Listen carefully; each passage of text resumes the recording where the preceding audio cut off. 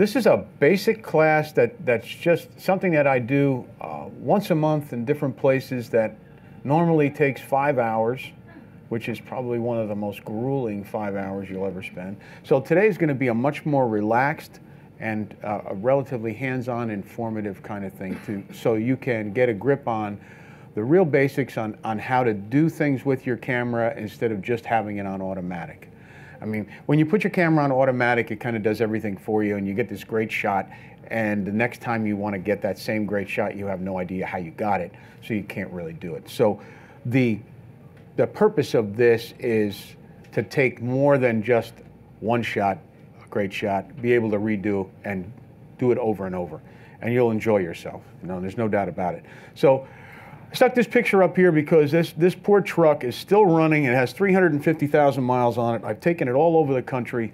And as you can see, I got a background on top, lighting in the back. I've, I've been everywhere and just have a blast doing it. Um, I'm leaving here today directly to uh, go to Texas to do an event. And then from Texas, I go to Disney. And I'm driving. I'm not driving this guy. Ford has actually given me a brand new Ford Edge to test drive the entire time, which is not a terrible thing, you know, especially since it's the turbo model. Although the color is called Electric Spice.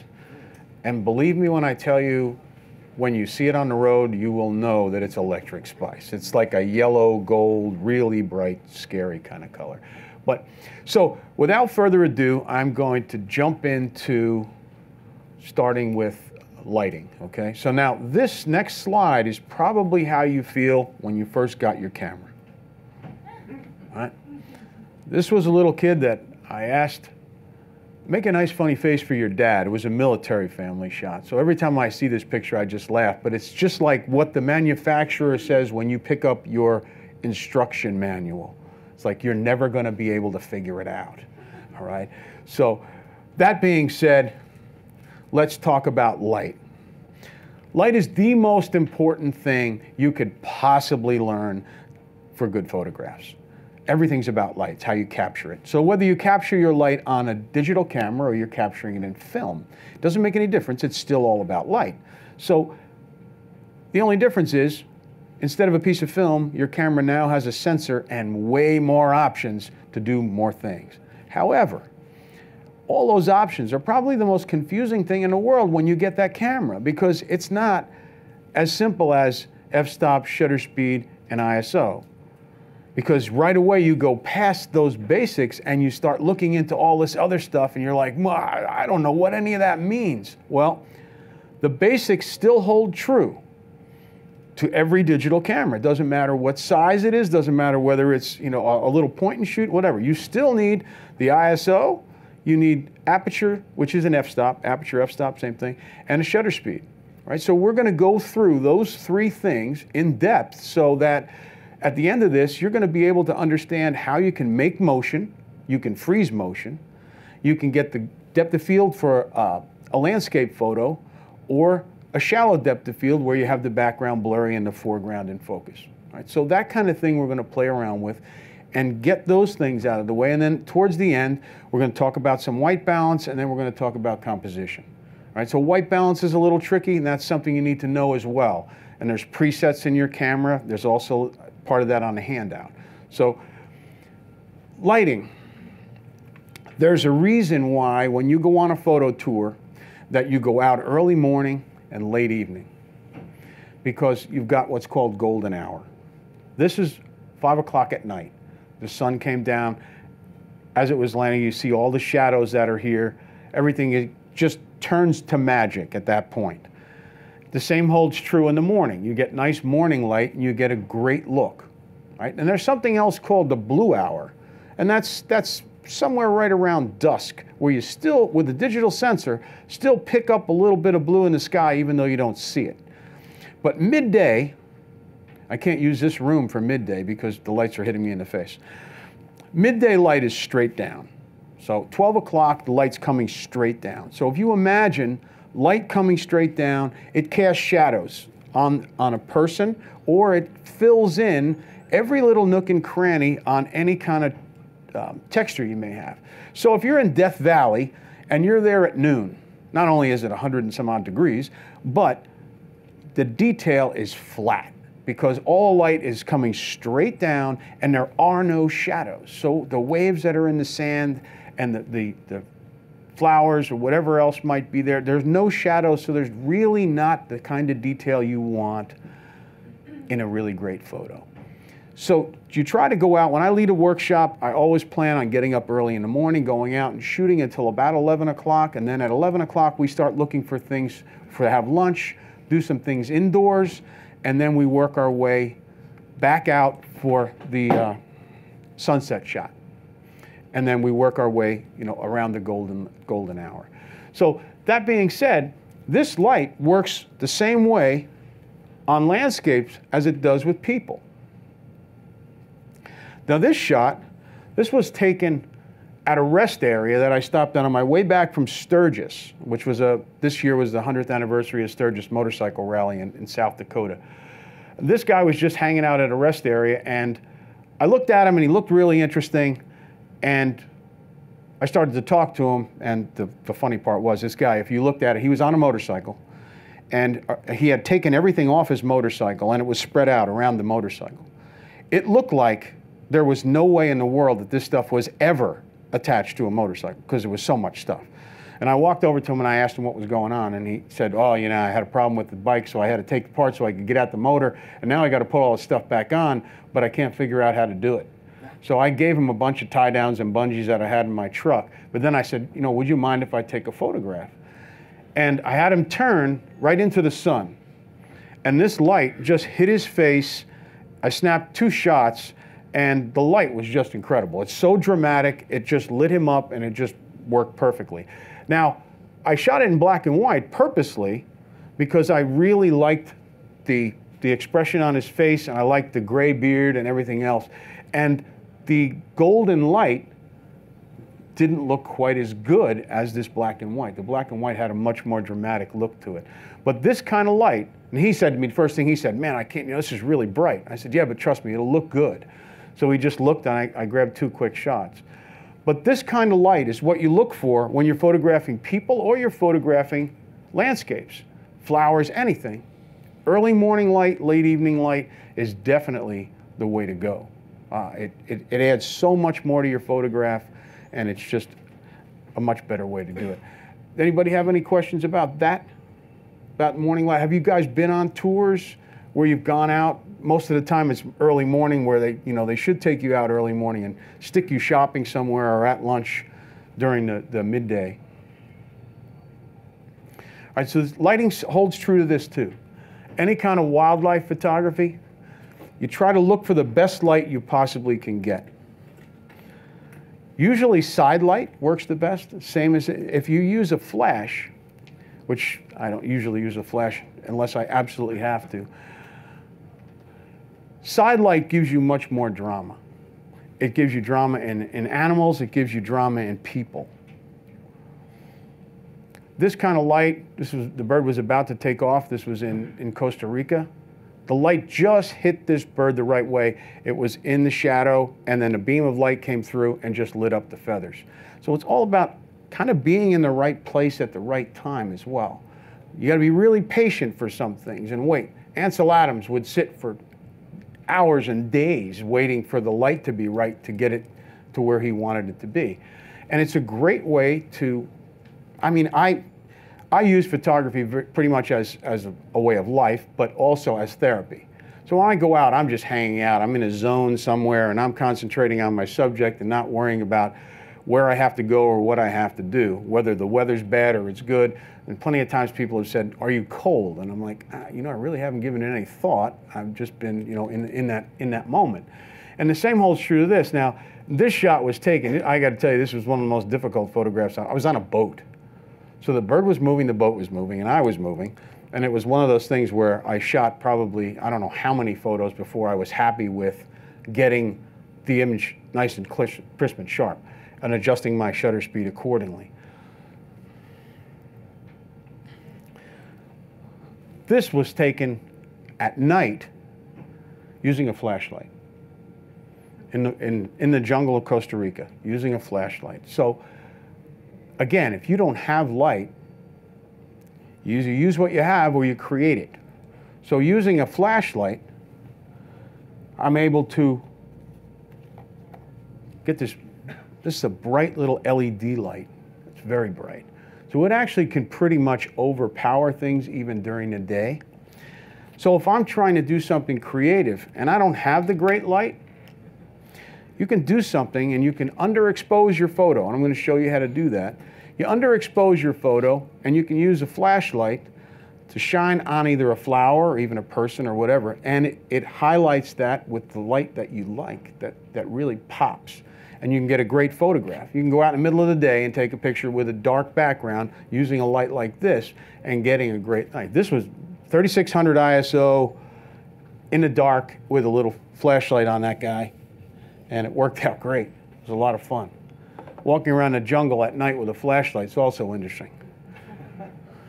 Luckily, there were frogs and nothing else. You know, the mountain lion wasn't in, wasn't in the jungle. Okay, so now Here's where we get complicated. We know that light creates all this stuff. The light is the important part. You have to have it in order to make the photograph. But now these are all the numbers that are going to make things happen. And they all are connected to one another. You have the aperture, shutter speed, and ISO. I'm going to go through ISO first. The ISO is an interesting, interesting thing. It's the amount of light your camera sees. It's the sensitivity your sensor has to light in the camera.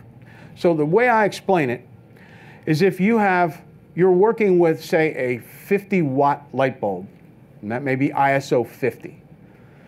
So you've got 50 watts of light you're working with, and it's too dark. You can't get what you want to get. You need to add more light. Well, you can't add more light if you, if you physically don't have any lights to turn on, you can't add more light by adding more ISO and adjusting the ISO from 50 to 100 ISO, you've essentially doubled the light. You've added another 50 watt light bulb only in the camera. So you're adding more light to your subject just by raising those numbers in the camera to get more light. And you can continue to do that. And as you do that, the shutter speed and the aperture go up as well. And that's where things start to happen. When you start using these things to either create motion, freeze motion, or the greater depth of field, the little depth of field, right? So the ISO is really important to understand. A lot of people think that they need to raise the ISO to change your exposure. And that's not the case in most cases. In manual mode, yes. But for everyone else, every time you raise the ISO, if your camera's in any kind of an automatic mode, it just compensates for it the numbers go up, but your exposure looks exactly the same. So it's not going to make your image lighter or darker unless you're in a manual mode. So let's start with the shutter speeds, right? You have shutter speeds on the side here. So one second, if your camera stays open for one full second, if you're taking a picture, say, of a waterfall, and you want that super smooth water, almost looks like a bridal veil type fabric. That's a one second exposure because everything around that's not moving is frozen and solid. But the water's moving, so it's going to cause motion and it causes it to be blurred. As the speeds go up, it starts to freeze things. So you can make the water start to take shape, and then all of a sudden at the end, you've got the water droplets in the air frozen right? So the good thing about working with shutter speeds and understanding what they do is you can make a relatively boring photograph interesting by creating some motion in it. So if I'm in Grand Central Terminal, Grand Central is a busy, busy place. If I go in there and I use a high shutter speed and I freeze everything that's going on, it just looks like everybody's frozen. So there's not really any kind of excitement. If you use a slower shutter speed, somewhere in the ballpark of, say, a 30th of a second or a 60th of a second, the people that are running by with their suitcases will be blurry. Everything that's not moving will be sharp and clear. So now you have a, a still image that's got motion that's far more interesting than an image that's completely frozen. And the same holds true to, say, say you're photographing a race car. When you photograph a race car, you usually pan with the car. When you pan with the car, it gives that blurred background. The tires are blurry, and the car is nice and clear because you're actually following along with the shutter speed that'll work to freeze just the car and not the tires or the background. My client, when I first started shooting NASCAR and Indy cars, said to me, I want everything to be clear and sharp. So I said, well, well you're not going to like it. And he's like, well, you, I'll tell you whether I like it or not. You know, he's a client and let him do what he want to do. So I raised my shutter speed. When the car came around the bend, it was doing 100 and some odd miles an hour. I clicked the shutter. I froze it like it was parked. Car was stopped. Tires were frozen. The people in the stands were all just perfectly clear and sharp. And the customer was like, that's terrible. Looks like the car's parked. I said, yeah, exactly. So that's where you use your, your shutter speed to figure out a good shutter speed, to follow the car, take the shot, pan with it, and you get that super smooth blurred background, but yet the car is clear and sharp. All about shutter speeds, right? So now there's some things you want to freeze. Say you're at a rodeo, you want to freeze a cowboy, you know, jumping off the horse to, to tackle a, a steer. That's going to be a high shutter speed, and that's purposely what you want to want to do. So you get up and you crank up your shutter speed to the highest one, up, up past here to like one one thousandth of a second. Most of the cameras that you have right now all go to one four thousandth of a second or even one eight thousandth of a second. I mean, a couple of the cameras that I have, I have one sixteen thousandth of a second. You can freeze anything.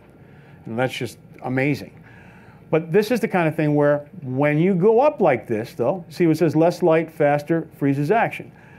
The problem is, at a 250th, 500, 1000, it's opening and closing really fast, and you need a lot of light to do that. So, in order to get that light, if it's not that bright outside, you raise your ISO. Your ISO brings those numbers up gives you the amount of light you need to achieve a high shutter speed. The aperture on the other side, which is the opening in the lens, the bigger the opening, the more light's letting through, the smaller the opening, the less light. Interesting part about the aperture is that at f22, it's a very small opening. Big number, f22. You think you get mixed up. Think big number, big opening. It's big number, small opening. You don't want to get confused. So if you have f22, the way those numbers work is that small opening is going to give you the most depth of field. Your feet will be in focus all the way out to the horizon line. So, but again, at f22, little tiny hole, you're going to need more light to do that, especially if you're hand holding the camera. So it all boils down to your ISO going up and down in order to give you the kind of light you need for the type of exposure you're looking for. At 1.4 or f2, 2.8, that's when your background is super shallow. So now the subject has a very, say the face is in focus and background is out of focus. And it can be to the point where the nose is in focus and the ears are out of focus. It can be that shallow with, a, like say, a 1.4 or 1.2 lens. So all these things all pertain to how much light you have to work with. So light is definitely the key and it's really good to understand how all this stuff works. So 100 ISO, 200, 400, every time you go from one to the next, you're doubling the amount of light your camera sees with the sensor. So you all remember if anybody shot film, anybody shoot film? So you had 100, 400, 800, 1000 speed film when 400 speed came out, everybody thought that was the greatest thing since sliced bread because you had that was the middle of the road. So now you could actually shoot sports and you, you could still get a pretty decent photo without too much grain, right? So that's another thing you have to deal with with the higher ISOs in a digital camera. If you get a higher ISO, the higher it goes up, the more digital noise you start to see. So you definitely don't want to have, say, a point and shoot camera or a camera that's not a relatively new sensor, older cameras are far more sensitive and have more noise. I should say less sensitive. Um, so at 6400, you're going to start seeing pixelation. And pixels are different than grain. Grain was a little nicer, it was a little easier to deal with because it was smoother and it was more like round little granules of sand. Pixels are just ugly little color pixels. They show up in the darker areas of your frame and uh, of your subject, and they tend to be, you know, noticeably ugly. So what you can do is there's plenty of noise reduction programs that you can use to reduce noise. And it reduces something. There's some noise reduction programs that are really good. You have to be careful what you use because when you reduce noise, you tend to reduce the sharpness. And that gets to be a pain. If you reduce the noise too much, then your picture starts to get a little bit soft. Experimenting with shutter speeds is probably one of the most interesting things to do to add excitement to your, to your photos. Because when I was saying about a waterfall before, having a water, waterfall is the greatest thing ever because you go to the waterfall, you start out with a slow exposure, and you get that real smooth water, and you just start raising your shutter speed up. And as you raise the shutter speed up, the water starts to take shape, and as it takes shape, you finally to the point where now every droplet that's splashing off a rock is frozen. So you can pick anywhere from that point in between and decide what you want, what you like. Because you know, I mean, everything. What, what I like and you like probably two different things. No number. You. I mean, you just have to experiment. Well, see, that's the problem. The, the, all these numbers all depends on how fast something's moving. I mean, I can tell you that at, at a half a second or a one second exposure, if you're doing a waterfall, that the water's going to be nice and smooth. I know that for a fact. But as you start to get up to a 60th of a second, you'll still have motion in the water, but it won't be nearly as much as it will be at half a second. So as it starts to get higher and higher, 250, 500, 1000, then it's going to start really freezing. When you get up past one one thousandth of a second, it's a whole other, whole other world. You, everything freezes, all right? So testing this out, what I would do, uh, on the top of your camera, if you have your camera with you, you have the S mode, or if you have a Canon camera, it's a TV mode. And TV means time value very confusing. I think Canon throws that out there to completely foul you up nowadays. People see TV and they're right away like, what the heck is that? Um, the TV or the S mode. So if you put it on your S mode up on top, that's your shutter speeds. So that's going to give you the option to set the shutter speed, and the camera is going to pick the, the corresponding aperture to give you the correct exposure. So for those of you who have your camera, you can speak up and ask me any questions you might have. Just make sure you got what you're looking for. It really is a big help because, man, I tell you, I can run out there and I can set shutter speeds and I know exactly what I'm going to get. And I know that I'm going to get a, a motion, especially if I'm in Grand Central. I shoot RAW and JPEG. Now, I'm going to, as long as you brought that up, let me just talk about that a little bit. Um, for those of you who have no idea what that means, there's two things in your camera. You can shoot RAW and JPEG, or you can shoot both. A JPEG is what your camera is set up to shoot from the factory. A JPEG is, is a compressed preset file that your camera picks, kind of picks the colors and picks everything else that it thinks is right. Now, for most of you, when you look at your picture on the back of the camera and you like it, you're perfectly happy with it and you don't have to worry about it. For somebody that's shooting for a living, shooting a raw file and a JPEG. The JPEG is a much smaller file, and the RAW file is a very large file. The RAW file is a non-destructive file.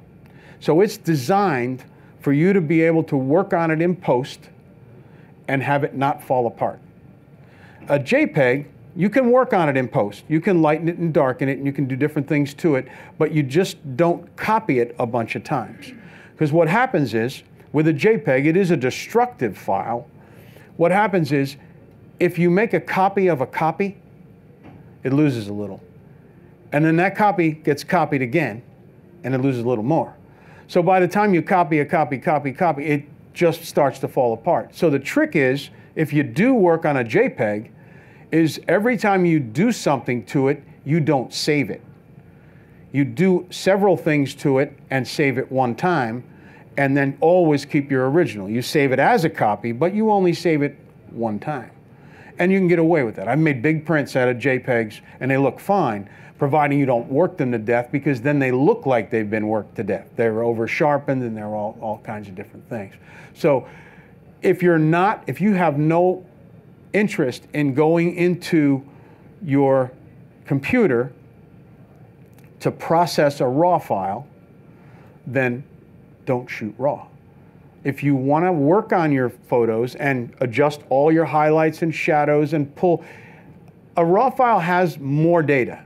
It has more information that you can pull from. So even on a day where the sky might not look that great, you bring that into Lightroom or you bring it into Photoshop and you use one of the sliders and you'll pull detail out of the sky in a raw file where you won't have that much information in a, in a JPEG, right? So it's, if you're looking to expand your photography into the computer side, into the post-processing side, then a raw file is something that you would want to, you would want to do.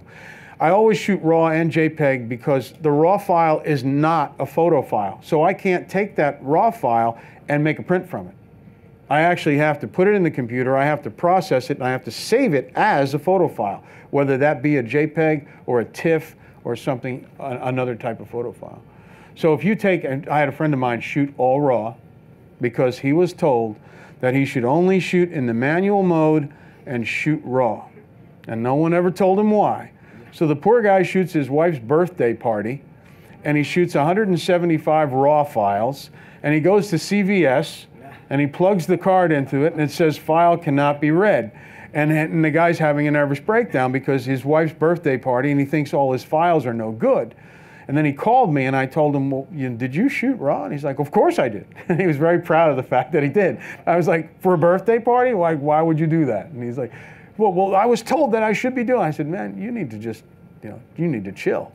You need, you need to relax. You don't have to shoot raw at a birthday party. If these are just pictures you're going to make four by sixes and pass out to the family, go for it. You know, but that's a whole other myth. You know, I, there's a guy runs around New York City all the time. Just says I shoot raw, and, it, and it's like he he makes it sound like that's what you should do, and there should be no other options. I'm all about doing whatever works for the individual who's, who's shooting. I mean, you may not ever shoot raw and be perfectly happy with what you're doing. The easiest thing to do, and what I do all the time, is I have my camera set for JPEG most of the time, depending on what I'm doing. Um, but most of the time, if I'm just doing stuff for social media and I'm banging stuff out, it's fine. But as soon as I start to get serious and I'm thinking, wow, this is going to be something I might want to play with, I'll automatically put it into RAW and JPEG and then I can just have both files. And then if I don't want them, at some point I just you know can get rid of them. But it's it's certainly good to have it if you got that shot in a million that you really love, and you decide you want to make a big print in your house. To have a raw file and be able to do that, you're going to get a much better resolution out of it. This whole triangle, I mean, it's complicated. You look at it, it's just a bunch of numbers, and it's just when you first see it, it's like when I first looked at this, I was like, how am I going to pull this off and explain this? I mean, it's easy for me to figure out, but it's very hard for me to, to translate the whole thing to someone else. So, to start out with, what I normally do is, is have everyone, you should always do one of these things at a time. You always have to work with your ISO, but you go to shutter priority and work one day with shutter priority and practice with it. Pan some things freeze some things. One of the fun things too, panning, right? So you're following a subject that's moving and you're freezing that particular subject and you're blurring the background. Now there's something really easy to do. It's the absolute opposite. So I go down to the Flatiron building and I want to take a really cool shot, but I really don't want to have parked cars in the shot or freeze the cars that are moving. So if I shoot that at a slower speed, say even a 60th of a second, which I can hand hold, I can take that and the cars that are going by will blur, but the building will be clear. So it's the exact opposite of panning. And it's actually fun. Again, you stand on a corner and you get some really cool shots. People going by, everything's starting to blur, but yet the building and everything else is nice and clear. So it gives you the ability to play with motion. And then another day you go out and you decide, I'm going to try the aperture. and I'm going to work with the aperture priority. And you can do the same thing there, but you work with your depth of field. So you do a shallow depth of field with a flower, and then you start upping your f-stop. The f-stop starts getting higher, things start getting in focus. So it's, it's, it's really a lot of fun to start doing different things because you start really appreciating what your camera can do rather than having it do it by itself and having no, no idea how it did it. So on that top dial, you have P, S, M, and M, uh, PS, A, and M. The P mode is not professional, it's program. A friend of mine always calls it the professional mode. But put it in P. Now, what that does is that sets the aperture and the shutter speed for you. Does both. And it does it in a way that it's sort of the middle of the road. So it's giving you a good exposure, but it doesn't know whether you want shallow depth of field or you want deep depth of field. Doesn't know whether or not you, you're shooting motion. Do I want to freeze motion or do I want to create it? It's just giving you a good shot. So when you use your shutter priority or your aperture priority, depending on what you want to shoot, one of the examples is if you were in the program mode and you were on the beach and you were doing a beach scene and it looked great, you took the shot, exposure was perfect, and then you notice that to the right, there's a really intense beach volleyball game going on. So you turn your camera and you start firing at the volleyball game, but you notice the exposure is beautiful, but the volleyball players are blurry. It's because your camera doesn't know that things are moving. It's not that smart. smart, but not that smart. So things are blurry. So in that case, if you're in the program mode, you can switch to the shutter priority mode and raise your shutter speed up. The exposure will still look the same, but now you're going to freeze the motion. It's still going to be a beautiful shot. It's going to look the same as it did before, but now the people are not going to be blurry, they're going to be clear because you've moved your shutter speed up to freeze the motion. So in that case, shutter priority works well because you're not really that concerned about what's going on on the other side. You're more concerned about freezing the motion. So if you raise your shutter speed up to say 500th of a second and you find that your aperture on the other side, it's going to set it automatically, if it sets it at f4, it's going to be a little shallow. So if you want more in focus, add more light. So that just brings up your ISO. You bring your ISO up a little bit and it'll take care of it for you. So it's all about adding the light. The more light you add to the camera with via ISO gives you the ability to have higher shutter speeds and also higher apertures as well because it's seeing so much more light. Right? Here's one that's even worse. But this is actually easier to understand. So this one's a little bit easier. All right, so you have the large opening, and here's what it shows you. You see here, you have the 1.4 and the background's completely obliterated. As you move further over to F22 and 32, now you have that person and the mountains in the background clear and sharp. So the wider the opening, shallower the depth of field, the smaller the opening, the sharper everything is. And here you have your shutter speeds. 1,000, frozen, starts to go down. As the speeds get slower, you start to see more motion. And in this one, the ISO. You see the ISO start to fall apart. This says 800. Eh, it depends on the camera. Uh, on a point and shoot, yeah. Starts to get noisy as you get further along.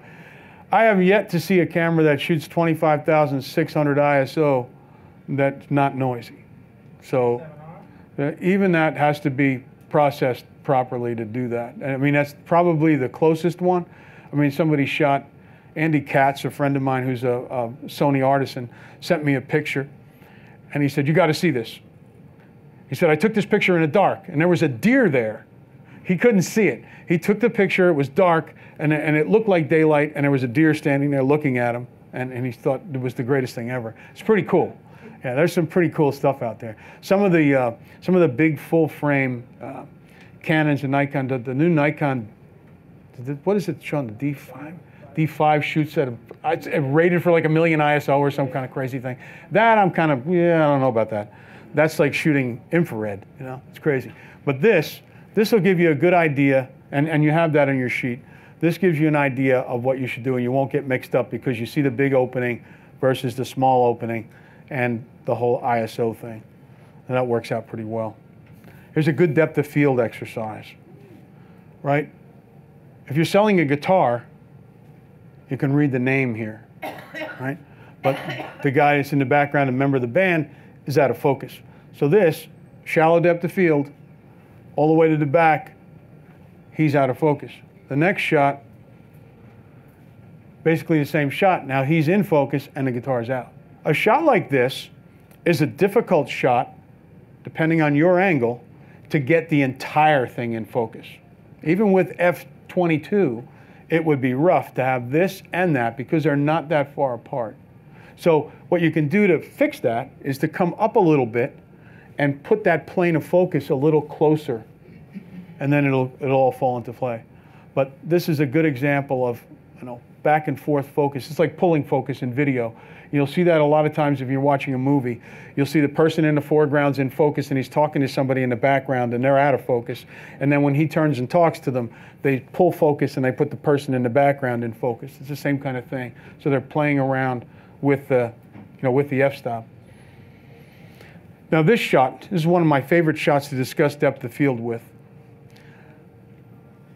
This was, this is funny, this is 250th of a second, 5.6 at ISO 400. No joke. I remember this because I, I was shooting it purposely. Um, this right here is, a, is the part of a cattle fence, right? So it's a round pole. So now if that was a greater depth of field, that round pole would be in focus and it would be going right through his neck. So it would be very, very distracting. At this point, you don't pay any attention to it because it's completely out of focus, so it doesn't really come into play. Right? So things like that to be able to control really helps because distracting backgrounds are really distracting. It takes away from the subject. So when you look at this photo, the only thing you see is the guy. You're not saying, oh wow, that's, you know, look at that pole going through his neck or what's going on back there.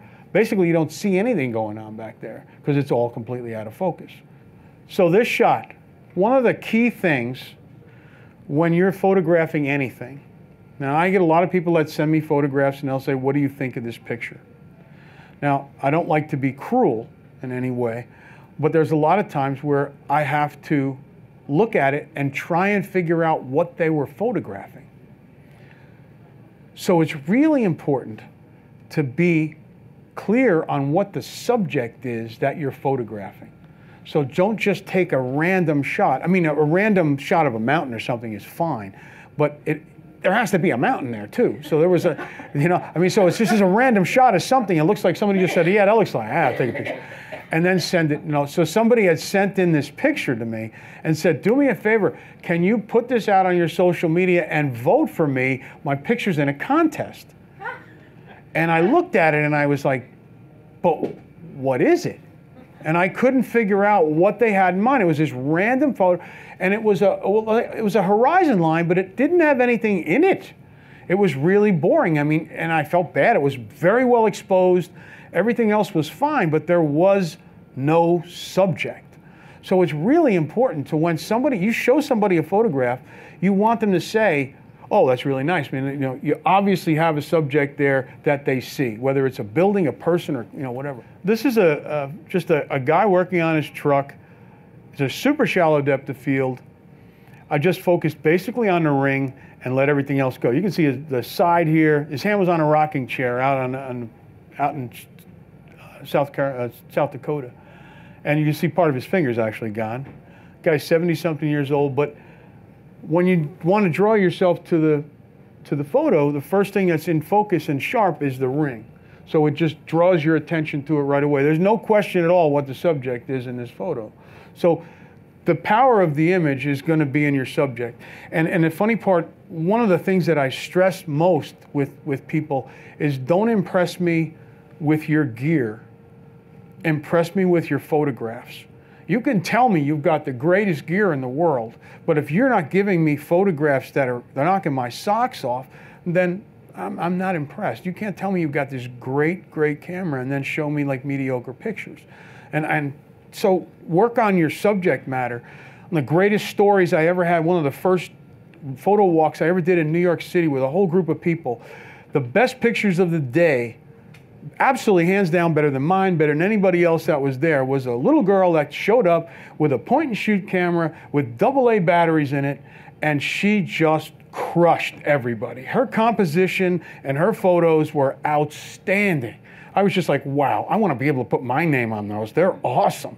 And she's, she, in the first five minutes, her batteries went dead. Luckily, I had a whole bandolier of double A's, and I fed her full of double A's all day.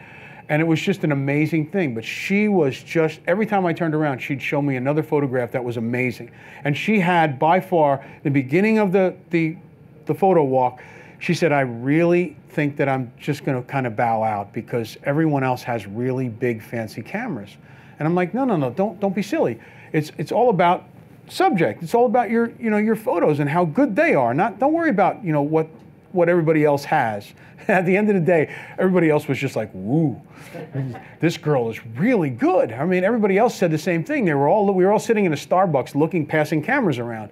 And when they got to her camera, this thing is this big, you know, and it's this cheap, like HP camera. It wasn't even a name brand. And we just looked at the back and we were just like, wow, these are amazing. So don't be intimidated by someone's gear. Just make great pictures. You know, be, be powerful. Get your subject going because that makes the world a difference when you start doing stuff like that. So now here you go from this is f8, right? So f8 in the subway with a wider angle lens, everything's in focus, including my knee. So you want to get something like this in focus so that you, you can see what everybody's doing. And it's funny because no one's paying attention to anything except either their phone or just hoping to get home. So depth of field here is front to back at f8. Wider angle lenses tend to give you greater depth of field overall.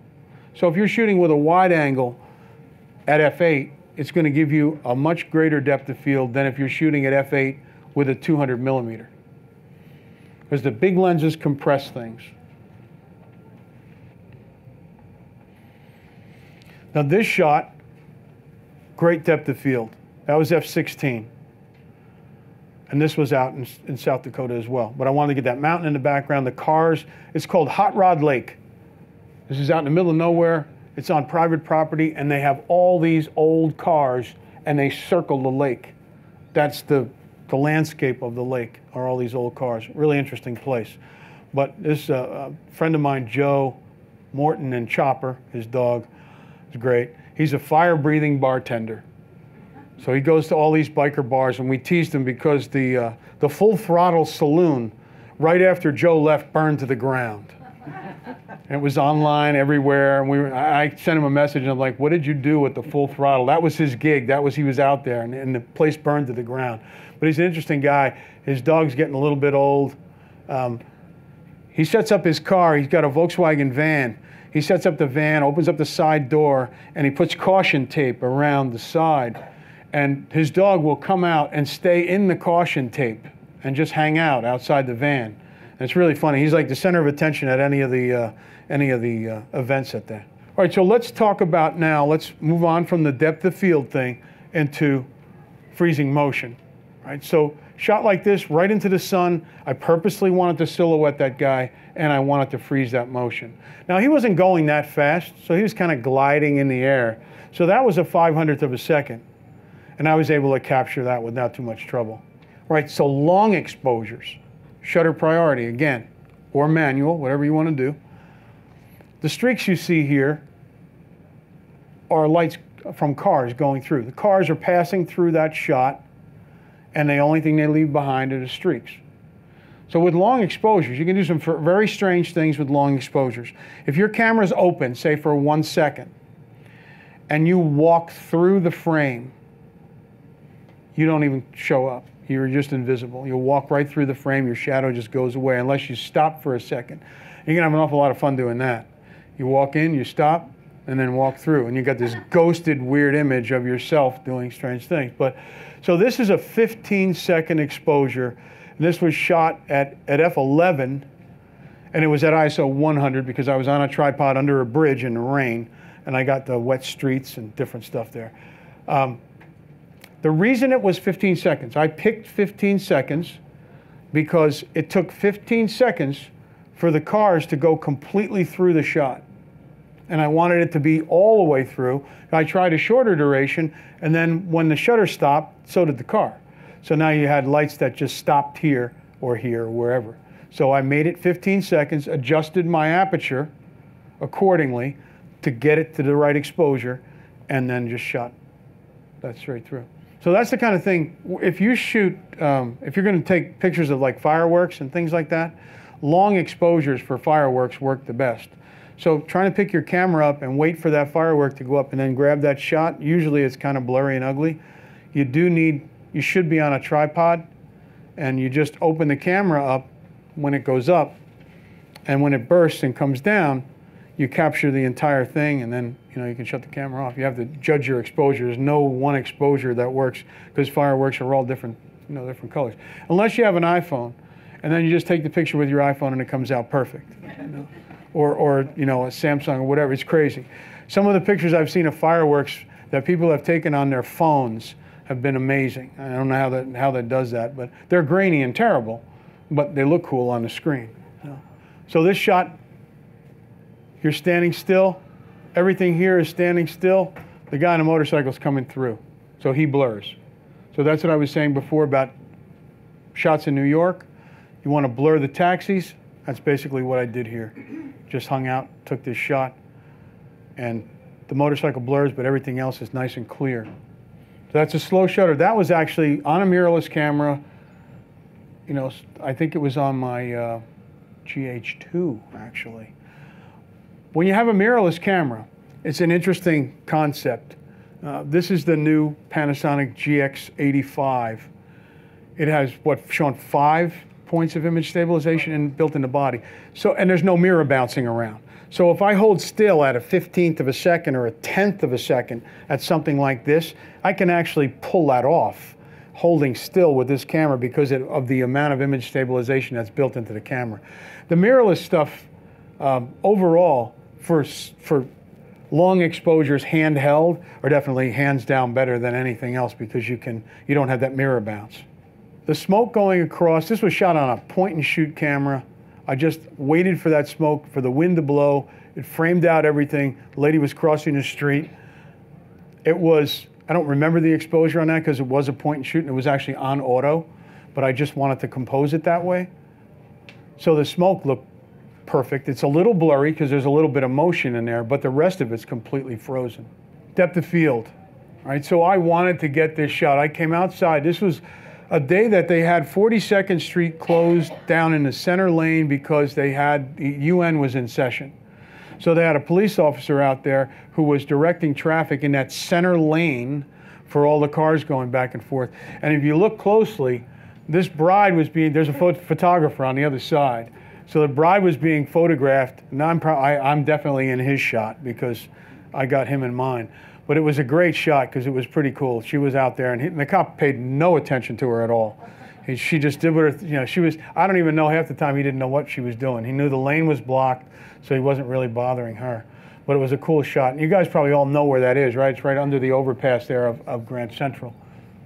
But it's a really, uh, this is the kind of case where if I did real shallow depth of field, none of the stuff in the background would have been readable. So in this, in this case, the bikes, the signage, and everything else made a lot more sense. This was just a shot that I did with something called a Lensbaby, right? So you focused in on this and everything else kind of blurred. But something like this, there's something called leading lines, right, with composition. So leading lines tend to run your eye to your subject. So you've got these benches going this way, kind of runs your eye right to the subject. When I talked about the leading lines and the Lensbaby, see how this is all blurry on the side here? The reason it's blurry is not because I, it's a special lens that does that weird, it's a Lensbaby you actually mount on the camera and it pivots and you move it and it has something called a sweet spot. And the sweet spot is wherever you want to put it. And that actually created that, that type of a blur on the outside. All right, we're going to move into what we call white balance. Now, this is, hopefully this doesn't scare you too much. These are the colors of presets that you have in your camera that adjust the color of light. So you have your camera comes from the factory, it comes with an auto white balance, AWB. So the auto white balance, normally, everybody uses auto white balance most of the time. If you decide you're going to change your white balance to, to emulate any of these other colors or help you out, you need to remember to always change it back. Auto white balance generally picks the strongest light source to adjust to, which in most cases, your camera on auto white balance, I leave my camera on auto white balance until I change it. Because if I put it on one of the other white balances and then I go somewhere and I forget to put it back, which everyone does, then the colors come out all weird. So auto white balance for your general general shooting outside and stuff usually works pretty well. But if you're going with a subject, say you're taking pictures of a person outside and you're going from sun to shade. When you go from the sun, you're on auto white balance, you go from the sun into the shade, there's a real good chance, and I just did this in my last workshop, that person goes from being warm color wise and looking normal to looking very cool and very blue when they go in the shade. So that's why you have a shade mode.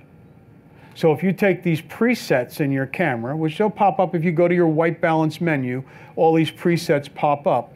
You go to your shade mode, what the shade mode does is adds more yellow to your shot to make it look like it was in like the daylight mode, in the, in the sun.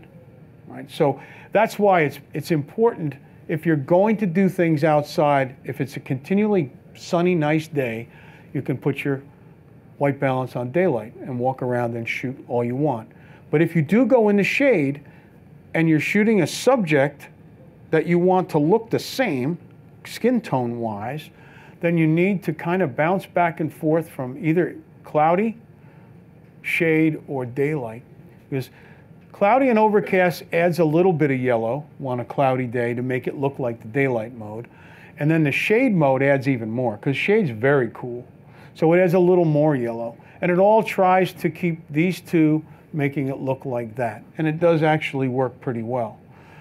Auto white balance is an interesting setup because what happens is, and I learned this the hard way, I set up a gray background and I set up studio lighting. And I was going to photograph 25 lawyers in the New York Times building, right? Big fancy job, set up in this big conference room. I shot it and I forgot that I was in auto white balance. Well, what happens is auto white balance takes into consideration the subject, colors that the subject might have on. So if you want the gray background to be gray the entire time, auto white balance is not the way to go. So I wound up, the people all looked good to me because I was looking at it on the back of my camera. But when I got home, put it on the computer, my gray background was all over the place. A little green, a little magenta, a little this, a little of that. Where if you locked it into the flash mode or whatever color lights you're using, it doesn't change. People still look the same, everything looks fine, but the background looks the same. You would think, I'm in auto white balance, nothing has changed. My light's the same, everything's the same. It's a gray background. It should be fine. It doesn't. It takes into consideration their coloring, and what they're wearing and everything else. So it will change things. So if you want locked in continuous tones, you need to use one of these presets. Now the tungsten incandescent mode, if you're ever taking photographs outside and you wind up with blue photographs, that's why. Um, fluorescent lighting, uh, for the most part, the auto white balance does a pretty good job on fluorescence, but nowadays most fluorescents are, are daylight balanced, so it works out pretty well.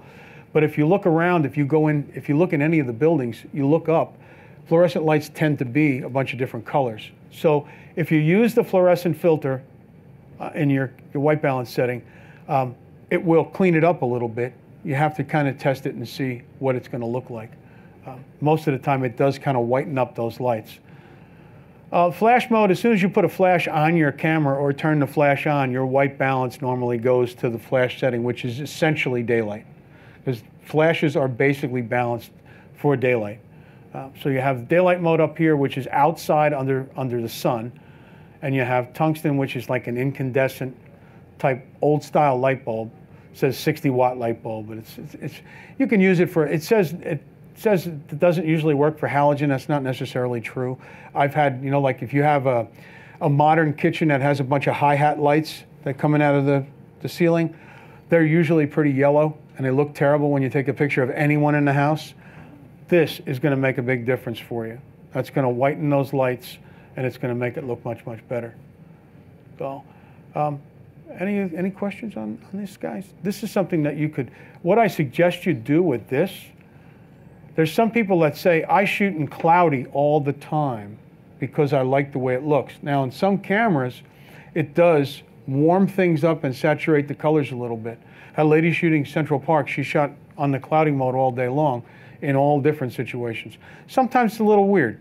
Um, I don't like my green trees to look gold when they're not supposed to. And sometimes it makes people look like they have a really bad spray tan, you know? So you got to be careful with that. You got to watch what you're doing as far as the white balance is concerned.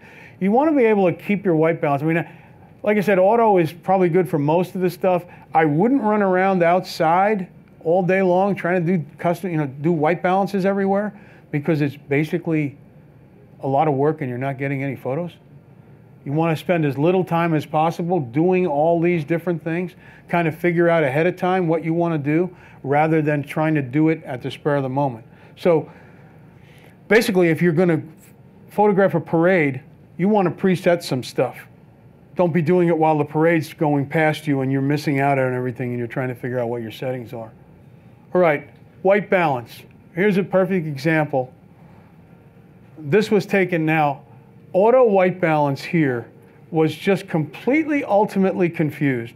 No one knew what, you know, there were all different color lights here. There was all kinds of different things. So this is just shot in auto white balance, and this was just done with a, with a little bit of correction. You see the difference in the lighting? Goes from yellow to where the white on the front of the motorcycle is actually white instead of yellow. But under a situation like this, even auto white balance, it's really, really hard to try and figure out anything. And to try and do a custom white balance, so you do a custom white balance in one spot, and then in the back it's another color. So there's lights all over the place. But these are white here. The Jim Beam sign is white, and then there's white back here. So whatever, this guy, actually that headlight had a little bit of yellow in it. It was designed that way, but the white here. But it's really a difficult situation. So the skyline photos, see what I've got here. you guys want something interesting, I gotta keep you awake right? So things are not always as they seem, okay? So something like this, I saw, it was really funny because I saw these, this was on St. Patrick's Day. Now, now these are very, you know, I thought were Catholic nuns walking around. They're walking toward me and they got the little shamrock on their face and everything else. And one guy's yelling at me, no, no, no, you got to see their back. And I'm like, what are you talking about? And then the one turned around. And so they were actually, they were not actually nuns but I was able to grab a couple of shots of that. But it's a, it, was a, it was a fun day. So that's just to keep you awake. All right, another, another example of, of white balance. Right, so this was done with a flash. Everything worked out just perfect. This white turned out white, and this guy with the flash, everything was balanced out. I didn't have to do anything. I just grabbed a quick picture. Again, that's why he's got a green mohawk, St. Patty's Day you definitely don't want to be at Bike Week during St. Patrick's Day. They, they only did that one year and then they changed it again because it was so insane that it was just beyond anything anybody could imagine. They had things that were just green pudding wrestling and things like that. It was very, yeah, it was just crazy. But anyway, so this was a flash, a little fill flash. yeah. Uh, it took me quite a while to clean the pudding out of my cameras. It was funny because it got, you know, it got splattered right on the front of the, right in the, I had, you figure you got the camera and you're going to get hit on the lens. You know, so I'm trying to get the lens out of the way. I turned to look down and, and pudding came up and came down and went right into my eyepiece. Just splat. And it was just like, okay, next camera. Just grabbed the other camera and started using it. Took me forever to get that stuff out of there.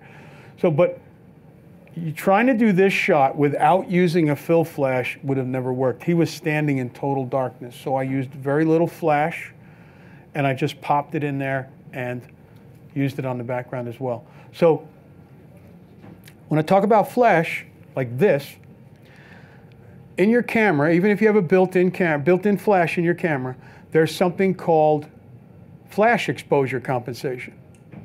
So now you have a little lightning bolt, and with that little lightning bolt, you have the plus and minus.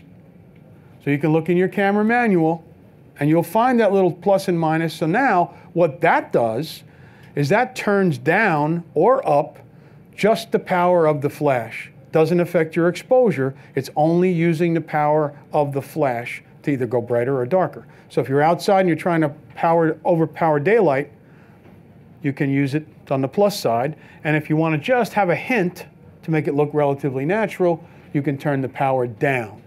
And it only affects the power coming out of the flash, not your exposure. Anybody try and shoot the moon? Try and take a picture of the moon? Everybody wants to try to do it. One of the most difficult things to do, trying to take a photograph of the moon. Moon is way, way brighter than you think. So I've, I've read things online. It's really kind of funny to listen to it. Best way to shoot the moon is put it on automatic. Good luck with that. First of all, the flash goes off. Uh, I think the moon's a little too far away. The flash isn't going to help you out. But when you photograph the moon, normally what you're going to do, you're going to aim your camera, get it right square in the center, and you're going to take a meter reading off the moon, which is going to be a big white fireball. And it's going to be totally overexposed until you adjust your camera and adjust it down to start seeing things and to see some footprints over here from where the guys were on the moon. Um, so you adjust your exposure and underexpose until you get to the point where you start seeing detail because otherwise the moon is just a giant ball of fire. So now, when you have a shot, I'm going to go next one. Uh, hang on, I'm going to go back. I got one shot. I want to show this one shot, this shot. This shot of skyline was, was done by a friend of mine. I can't take credit for it. We were doing a Hoboken photo walk, and we were out on a really windy night. And this shot is done at with auto white balance because we tried all of the white balances and none of them worked as good as auto. Auto worked perfect, right? So it's auto white balance. It's f16, a 30 second exposure at ISO 100. Done on a tripod, obviously, 30 seconds long. So you see the water, the water is all moving because the tide's going out. So it's nice and soft and smooth. But everything else is nice and tack sharp. Now this, we were talking about this, this is a golf driving range, which really annoyed me because those lights are so bright and it really ruins the shot. I mean, you could kind of crop them out if you wanted to or just, you know, take them out in Photoshop. But at f16, usually anything above f11, you get that star effect on some of the lights because it's a natural occurrence at, at that kind of an aperture, that small of an aperture. So you get that star effect that wasn't done purposely. Now, another thing, so at 30 seconds, anything that's in this shot that's moving is going to be blurred. So the water's blurry, the clouds are a little blurry. So now the one thing that this shot doesn't have, and that's a moon. If it had a moon, and you did a 30 second exposure, the moon would not be round because of the rotation of the earth. And in 30 seconds, the moon would be oblong. So now you would have to adjust your exposure accordingly because you don't think of that. You think, I'm going to just do this 30 second exposure. And why in the world does that moon look so weird? Because it's in that short period of time, in 30 seconds, you get a really oblong moon. So that beautiful round moon is not going to work. Now, also, we lucked out in this shot because there were no helicopters, because the helicopters would have ruined the shot, because it would come in, it would start flying through, and if it only flew through partially, through the exposure, it would be a streak all the way along with the light. You wouldn't see the helicopter itself, you would just see the light. So it would be a disaster. This night turned out perfect. And that was shot, this is as is in camera, and it was shot as a JPEG. And John sent it to me just, he shoots RAW and JPEG as well, but he shot this and sent me the JPEG and uh, made me green with envy. Um, when you take a long exposure like this, it's like looking through a pair of binoculars. If there's any motion in the camera whatsoever at that distance, you look through binoculars and you shake a little bit. If you take your camera and it shakes at all, everything out here is going to be blurry. So what John did, these people out here, they were out on this dock. They weren't with my group. They were out on this dock with tripods photographing the skyline. The dock is a floating dock. So when you're on a dock that floats, when you've got a tripod, the buildings on the other side are not floating. So you're moving. So every shot, they kept complaining that their shots were out of focus because they were bouncing up and down. So John was over here on the other side, and he had actually taken, he was shooting with a Canon at the time, and he actually took his lens, he had it on a tripod, he put the lens down on the railing and taped it so that it couldn't move this shot, I this was totally by accident. It was one of these things where I was trying to uh, check out my lighting, and then I was in Disney World, obviously, but didn't know that Mickey was going to shoot sparks out of his fingers. I was just like, wow, okay, Mickey's out on stage. Let me just see what my meter reading is, my color balance, and all that stuff. And all of a sudden, that happened, and I was like, wow, being in the right place at the right time, huh? And Disney went crazy when they saw that shot. They were like, uh, they were retweeting it and sending it all over the place. And I was just like, you know, I just got lucky. So anyway, I appreciate everybody that's here and putting up with me for two hours. Thank you very much. Whether you're a hobbyist or a professional, B&H has the answers to your questions. Experience a world of technology at our New York City Superstore. Connect with us online or give us a call. Our staff of experts is happy to help.